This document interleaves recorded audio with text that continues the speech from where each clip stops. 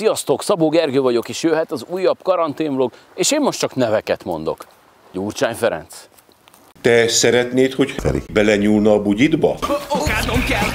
Varjú Lacika. Orbán akarnoksága és zsarnoksága Magyarországot a világban és az Európai Unióban is a perifériára sodorta. Donát Anna. szavazói magatartásunk semmiben sem befolyásolja, hogy milyen hányadékot fog elfogadni utána ez a rendszer. Aztán Dobrev Klára. veszélyeztetni, hogy a szörnyeket, a gonosz rendszert azt le tudjuk váltani, ott szerintem az senkinek nem szabad. És a baseballzütős Barkóci. Senki ne akarja velünk elhitetni, hogy ez mind-mind véletlen lenne. Ennyi véletlen a világon nincs. Ugye, visszatértünk az igazi szép kerékvágáshoz. Tartsatok most is velünk!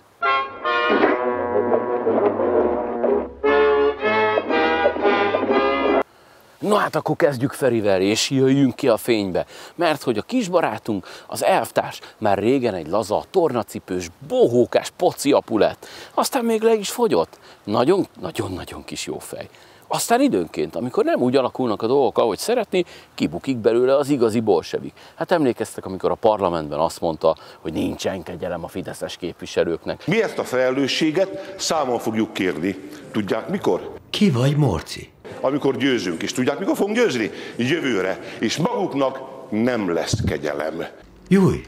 Vagy amikor az általa kilövetett szemű embernek beugatott, újra megalázta és meggyalázta és visszaszólt neki, amikor Budán oda mert menni az az ember, és azt mondani, hogy Ferike, te ne beszéljél szép dolgokat. Ő volt az egyik olyan áldozat, aki egy közelről kilőtt gumilövedék miatt fél szemére megvakult. Itt van, akinek kilőtte a szemét, attól kellett volna bocsánatot kérjen. Itt van Nagy László, és neki lőtte ki a szemét. Itt van személyesen. Az embernek kilőtték a szemét, azóta nincs már munkája, meg semmije. Szeretem a provokátorokat, őt személyesen ismerem, mert hogy sok helyen meg szokott jelenni. De, de nem baj, darabra, Viccelődik azon, hogy valakinek kilőtték a szemét, nem szégyeli magát. Rendelkezzen 10 másodperccel holnap este arról, hogy ő kiabál, de szerintem ahhoz képest szépen megmosta a haját, elegáns, tehát jól fog mutatni majd a tévében. Nevetségesé próbálja tenni ezt az ember. Nem szégyeli magát. Nincs ki és fogd be a pofád! És szegény béke poraira azóta meghalt, Isten nyugosztalja, Feri viszont itt van köztünk, és nyomja a szemetet, mert legutóbb mit csinált a kisfiú? Hát persze, hogy most már a bíróknak és az ügyészeknek kell beszólni, mert így működik az igazi demokrácia. Feri ugyanis azt mondta, hogy megjegyzi ám azoknak a nevét, és megjegyezzük, mondta így a haverok nevében, azoknak a bírósz, bíróknak és ügyészeknek a nevét, akik elmernek ítélni bárkit is. Mert hogy mi is a konkrét ügy? Meg tudná valaki mondani, hogy hol van Varjú László? Közben a DK-s Varjú László többször is nekirontott a stúdió ajtaját őrző biztonságiaknak. Látjátok, mi történik itt? Ők ezek az urak. Nézzétek őket. Ők ezek. A földről folyamatosan provokálta a biztonsági őröket, sértő megjegyzéseket tett, fenyegetőzött, és végig az arcukba nyomta a mobiltelefonját, amelyen élőképet adott róluk. Magának pedig egyébként semmihez nincs köze. Megértette? És magának nincs lehetőség ahhoz, hogy hozzám érjen. Hanem itt hozzák ide a társaimat. Hozzák ide a társaimat, és utána beszélhetünk. Legyen szíves, Jó? Majd utána beszélünk. Addig semmit sem magával. Ki a többit hogy hívják? Hé, nem kacsa, hanem varjú. Varjú Lacika. Az ő ügyéről van ám szó, és nem csak az MTVA székházról, ahol egyébként ott bunkóskodott, mert bement bohóckodni, aztán utána megpróbált bemenni az élőadásba, ez az, majd neki ment a biztonsági őröknek. Még el is gáncsolta az egyiket.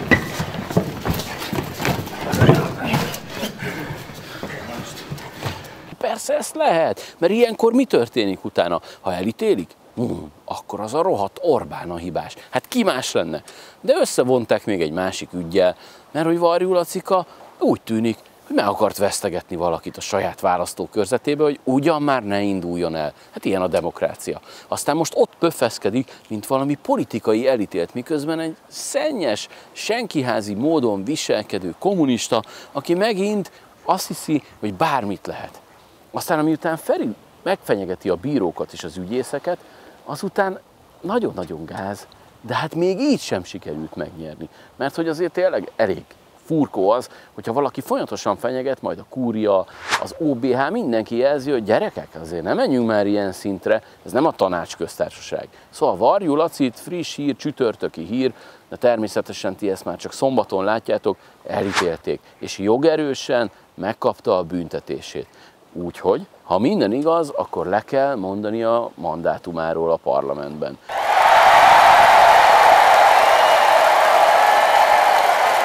És jön majd valami újabb gyönyörű ember. De az a lényeg, hogy ők természetesen ezt úgy fogják föl, mint hogyha valami politikai támadás lenne. És azt gondolom, hogy nekem van igazam, és mindaddig, amíg levegőt kapok, ezért fogok küzdeni. Akit jogerősen elítélnek garázdaságért, testi sértésért és mi egyebekért, az a mai nappal haladéktanul távozzon a magyar közéletből. Tehát azt szeretnénk, hogyha a jobb oldalon a hibáknak is van következményük, akkor a bal oldalon lenne a bűnöknek is következménye. Az látható és érzékelhető, hogy megpróbálnak engem bennünket elhallgattatni. Néhány pénisz felfele és balra görbül. Most ennek akár különleges időszaka is van, amikor valakinek fontos lehet az, hogy ebben az időszakban arról beszélhessenek, hogy elítéltek egy országgyűlési képviselőt az ellenzéki oldalon. Nem történt ilyen jogom van fellebbezni, és meg is teszem. Varjú elkiáltja, kár, hesmadár. És ezért veszélyes ez az egész, mert mit üzen nekünk? Bármit megtehetsz. Ha utána azt mondod, hogy természetesen azért csináltad, hogy a rendszerrel kitoljál, és a diktatúrát próbált feloldani, és akkor megbuktatni a rendszert. Szóval, hogyha odamész valakihez, fejbe rúgod, vagy egyszerűen eltángálod, és azt mondod, hogy hát Orbán miatt volt, ja, bocsánat, hát akkor nehogy már el legyen ítélve szegény. Szóval Varjú barátunk, a kis furkó újra színre lépett. Na de vannak még itt jó arcok, mint például Donát Annácska, aki megint belesült a saját hülyeségébe. Van súlyos társadalompolitikai különbség igazából köztetek? Biztos, hogyha én most így belemennék a résztek, akkor, akkor találnék neked rengeteg mindent. Én alapvetően a... Um... De nem beszédes az, hogyha most egyet se tudtál hirtelen megnevezni? Marci, azért, mert kit érdekelnek most szakpolitikai javaslatok? Na ne bassz. Amúgy Azon de, múlik, azon például, múlik. de, hogy nem, hogy nem. Például, amikor a, a legutolsó esetben, a kilakoltatás esetében, 16. kerületben, eh, ott- 15. kerület, bocsánat, vagy keverem ott a pesti külső kerületeket. Azt a kurva! Ú, meg! Hát ehhez meg is kellett támaszkodnom. Na de akkor csak szépen sorjában. Tehát szerintem tényleg nincsen nagy különbség köztetek Annácska és a DK között. De hát ezt ti is nagyon jól tudjátok, hiszen az 50-es években nem nagyon szerette egymást a két család, az apróklán meg a Donát, jó nagy kommunisták voltatok, de szokás szerint egymást írtottátok. Azt, hogy most hogy álltok, azt szerintem csak ti tudjátok. De akkor menjünk egy kicsit tovább. Hogy is van ez a 15 meg 16. kerület? Hát te van szarva, nem? Valahol ott vannak külső Pesten, vagy én nem is tudom, hogy hol. Hogy melyik, melyik, az mindegy. Igaz, hogy az egyik dk a másik pedig egy mintakerület, Fideszes kerület egyébként. De ez se számít, hát ez valahol ott van, kit érdekel. De te országot akarsz vezetni. Aztán fogalmat sincs arról, hogy melyik kerület hol van. Pedig nem vidéki tündérke vagy, hanem bizony itt laktok Pesten, de nem számít, nem érdekel, te csak lövöd a mantrát előre. Aha, persze, majd biztos megtanuljuk, mert hogy Karigeri sem tudta persze, azt mondta, hogy Csepel Észak-Pesten van. Karácsony Gergely tavasszal még azt sem tudta, hogy hol van Csepel.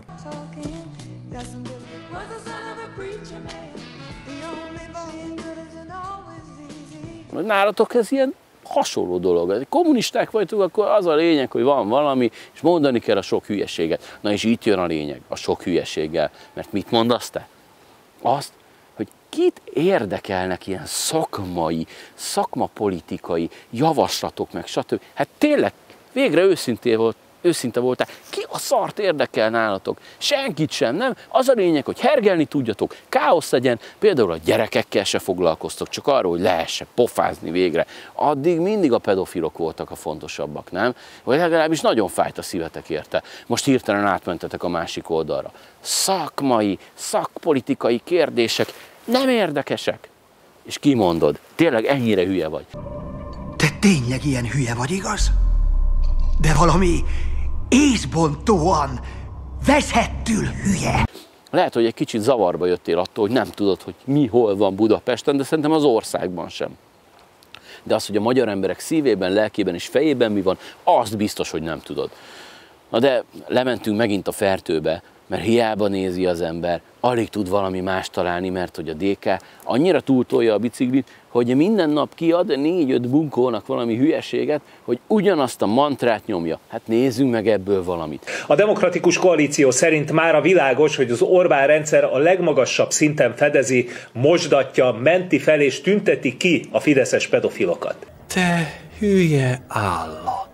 Így történt ez a Sándor palotában, így történt ez az igazságügyi minisztériumban, és így történt ez a Fideszes fővárosi vezetésben is, ahogy valószínűleg az államigazgatás minden szintjén. Bunkó! Persze a DK-ról van szó, a baseball ütős kisbarátunkról. És ahogy mondtam, tényleg naponta kiállítanak 5-6 ilyen furkót, hogy ugyanazt a mantrát nyomják. És tényleg annyira hülyék, hogy legalább minimális értelmet vinnének benne, de nem. Minden nap még kisarkítjuk, még szélsőségesebben nyomjuk. De igazából ezt csinálják a bolsevikok, kommunisták több mint száz éve. Nem ez volt 1919-ben, az illegalitásban, 45-ben, 47-ben, az 50-es években és utána végig. Valami hülyeséget mondunk nektek, kisarkítjuk. Igazából, aki gondolkodik józan paraszti észsel, az biztos, hogy nem hiszi el, mert semmi értelme nincsen. De mi nem tanulunk ebből. Nekünk ezek az emberek kellenek, akik nem gondolkoznak. Ez, ami egyébként a 45-ös választás után, az a 17% kommunista, na az kb. most is összeállt mögöttetek, Ferikém. Ez az üzenet megint, hogy ti beszéltek bármiféle erkölcsről, ti akartok mindenkit magatok mögé hagyni, a sajátjaitokat leszalámizni. Aki gondolkozik, aki vallásos, aki nemzeti érzemű, na az aztán kb. mehet a Dunába, vagy az belelőni a messzes gödörbe. Kb. így gondolkodtok. És valahol ez a mi szerencsénk is, hogy ennyi eszetek van. Rossz indulatotok, a guztustalanságotok sokkal erősebb, a gonoszságotok, a rossz indulatotok mindent előrevetít, hogy ti mit fogtok csinálni. Na de mondtam Klárát, és most már tényleg nem verlek át benneteket, mert nem vagyok egy Feri. Nem szabad hagyni. Nem szabad hagyni, mert belenyugodni abba, hogy egy ilyen rendszerben élünk, ez azt jelenteni, hogy eldöntjük, hogy a következő éveinket, a gyerekeink ebben a rendszerben fognak felnőni. Én továbbra is azt mondom, 2024. februárjában egy ellenzéki pártnak annál kisebb feladatot nem szabad maga elé tűznie, mint hogy az Orbán rendszerének buknia kell. És mi ezen fogunk dolgozni holnap, holnap, holnap után, egy hónap múlva, és egy év múlva is, egészen addig, amíg meg nem bukik. Ez itt egy idióta. Meglepő volt, ugye? Ugyanaz a mantra. De, de tudjátok mit? Akkor tényleg kérdezzük már meg az embereket, hogy akarnak-e a ti rendszeretekben élni? Mert hogy szerintem erről már döntöttek. Nem egyszer, nem kétszer, és nem is háromszor, hanem jóval többször. Nem, nem akarnak, megtapasztalták, és köszönjük szépen, mindannyian, nem kell többet. De ti ez egyáltalán nem érdekel benneteket. Ugyanaz jön. Mi vagyunk a törpe kisebbség? Na de mi vagyunk igazából azok, akik a többséget képviselik. Klára, annyira gáz, amit csináltok Ferivel. Még az is lehet, hogy persze téged előre nyomtak, Na de sokkal nem vagy jobb a férjednél, sőt, szerintem, és akkor nem akarok jelzőket mondani, de az a lényeg, hogy nem kell DK, nem kellenek bolsevikok, nem kellenek kommunisták, mert hogyha egyszer, még egyszer megtapasztalja az ország, a nemzet, hogy ti mit csináltok, az lesz szerintem az utolsó tapasztalásunk. Úgyhogy szerintem azért érdemes magunkat is karban tartani, titeket meg jó messze tartani a hatalomtól. És ez volt már a karanténblog, köszönjük, hogy minket néztetek, természetesen továbbra is ott vagyunk a Rambülön, sőt, nagyon sokan jöttek a TikTokra is, rengetegen nézitek a kis videókat, úgyhogy továbbra is gyertek, keressétek a karanténblogot Szabó Gergőt, mert megtaláltok, és ott jönnek az újabb videók. Jövő héten pedig újabb tartalmakkal érkezünk, és jön ismét a karanténblog. Jó hétvégét, vigyázzatok magatokra, sziasztok!